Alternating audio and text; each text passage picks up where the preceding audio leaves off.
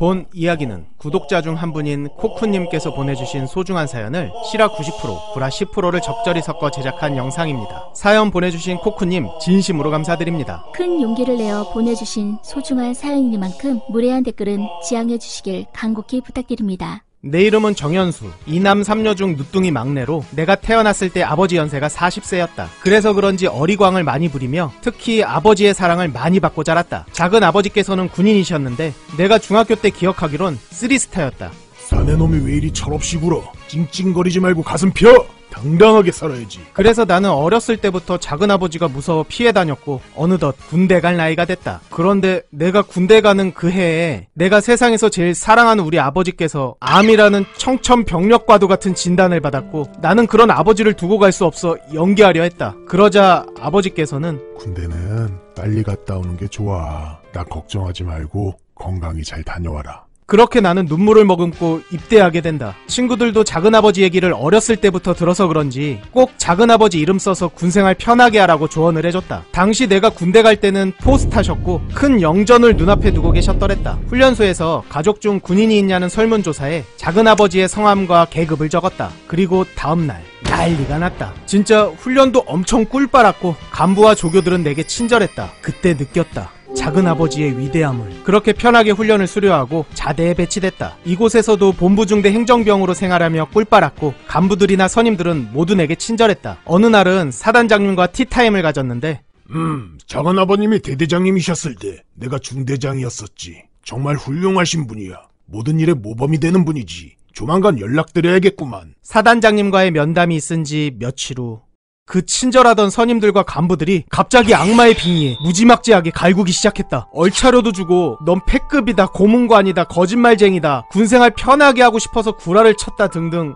나중에 알았는데 사단장님이 작은 아버지께 연락해서 내 이야기를 하자 작은 아버지께서는 모르는 놈이라고 말씀하신 것. 화가 머리끝까지 난 사단장님은 나에 대해 거짓말쟁이라고 온 부대에 소문을 내셨고 그 결과 지옥문이 열린 것이었다. 우리 대대장님은 본부중대 행정병이었던 나를 기동중대로 재배치. 배치받은 중대 중대장은 나를 벌레 보듯 했고 선임들은 이름으로 부르지 않고 별명으로 불렀다. 구라쟁이.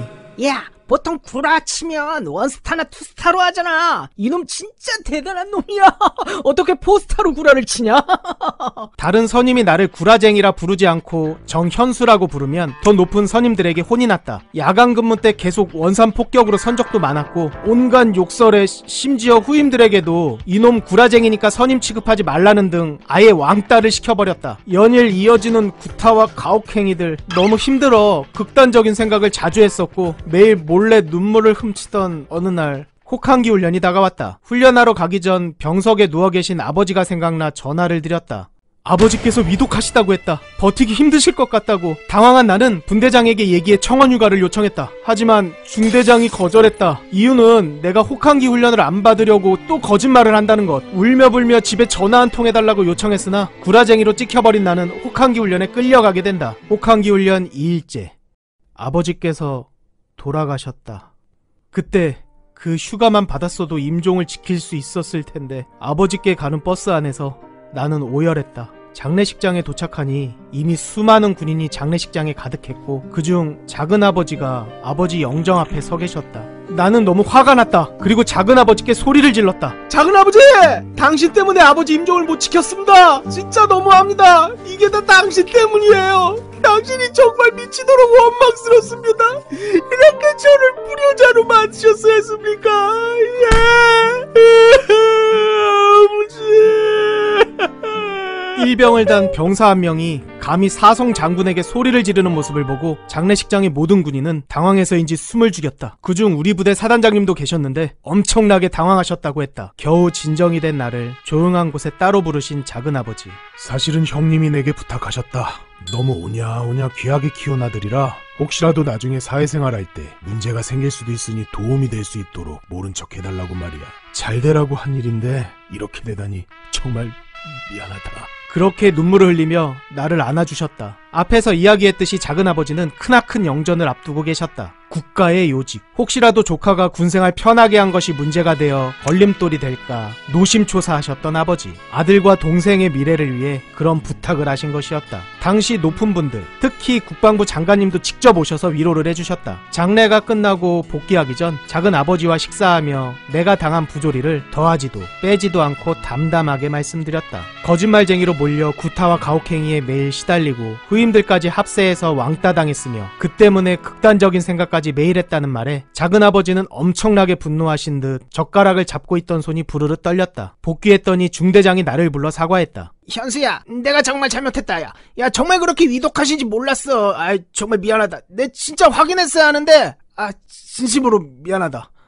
전화 한 통해서 확인만 했어도 쉽게 알 수 있는 걸 가증스러웠다. 그렇게 벌레 취급하더니 하지만 덤덤하게 그냥 알겠다고만 하고 생활관으로 갔다. 생활관에는 내 말이 진짜였다는 사실이 전파된 듯했다. 선임들이 더 이상 구라쟁이라고 부르지도 않았고 머쓱한지 눈도 마주치지 않았다. 다음날 기무부대에서 갑작스레 점검이 들어왔다. 대대장, 중대장 모두 날아갔으며 왕따 당하고 있다는 사실을 인지했으면서도 방관한 죄로 징계를 세게 받았다고 했다. 부조리와 폭행, 폭언을 일삼았던 선임들 모두 군기교육대 및 영창 후 전출. 중대 반 정도의 인원이 재편됐다. 그야말로 부대 전체가 완전히 폭파된 것. 사단장님께서 나를 찾아오셨다. 정말 미안하다.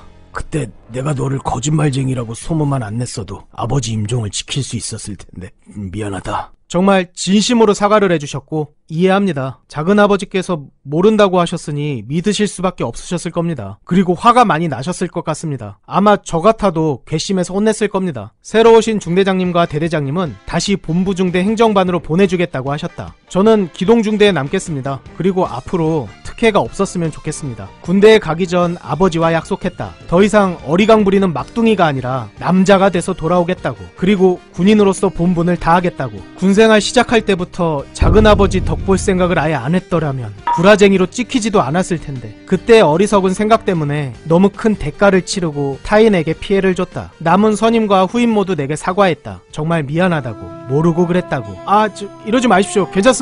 저라도 그랬을 겁니다. 다 이해합니다. 신경 쓰지 마십시오. 저야말로 이런 소란을 일으켜서 모두에게 정말 미안합니다. 저 앞으로도 잘 부탁드리겠습니다.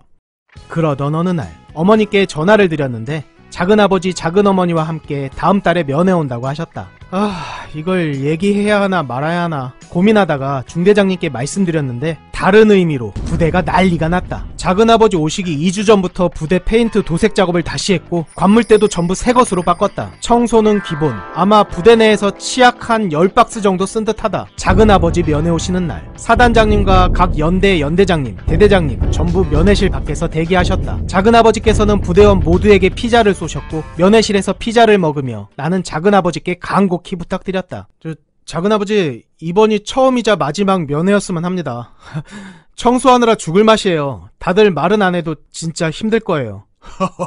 이놈 봐라. 전우들 챙길 생각도 다 하고 다 컸네.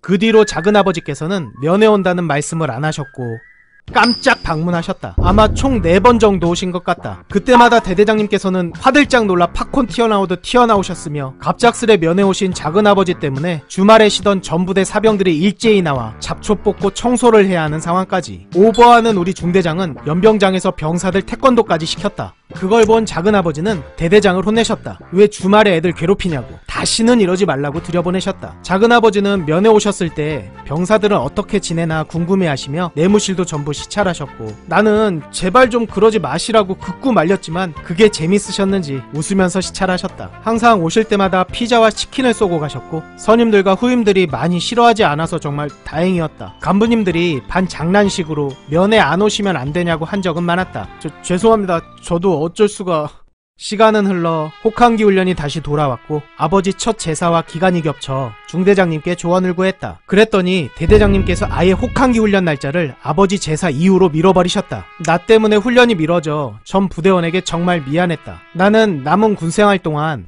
훈련, 작업, 근무에 있어 일체 열애 없이 혹시라도 작은 아버지께 누가 될까봐 최선을 다해 군생활을 했고 무사히 전역하게 된다. 작은 아버지, 어렸을 적 항상 무뚝뚝하고 엄격하셔서 저를 싫어하시는 줄 알았습니다. 하지만 나중에 나이 들고 알았어요. 저를 많이 아끼고 사랑하셨기에 그러셨다는 것을요. 작은 아버지, 항상 존경하고 사랑합니다. 건강하세요. 충성!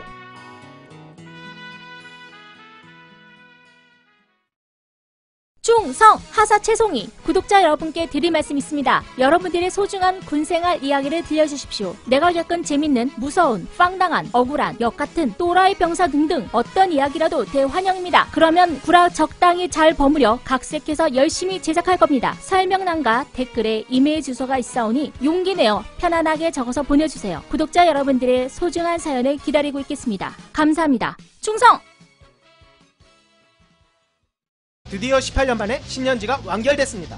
정지혁 병장의 고등학교 시절 그리고 정지혁 이병은 과연 어떤 모습이었을지 최원일과 정지혁은 왜 원수가 되었는지 짱고는 왜 김창우를 좋아하게 됐는지 왜 정지혁은 김창우를 그토록 갈구는지 김창우는 어떤 고문간 짓을 했는지 말년들은 과연 제대할 수 있을 것인지 그리고 666 부대는 어떻게 탄생했는지 여러분들이 궁금해하셨던 모든 떡밥들을 풀었습니다. 카카오 페이지에서 오인용 또는 666을 검색하세요. 감사합니다.